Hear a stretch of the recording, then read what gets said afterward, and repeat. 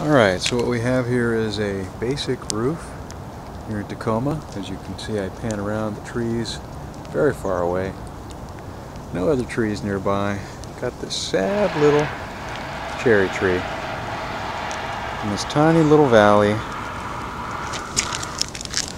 And this sad little thing is all plugged up. They did a wide mesh, as you can see. They built a dam to try to stop the water from overshooting. Doesn't work. Whole thing's just totally filled up with junk.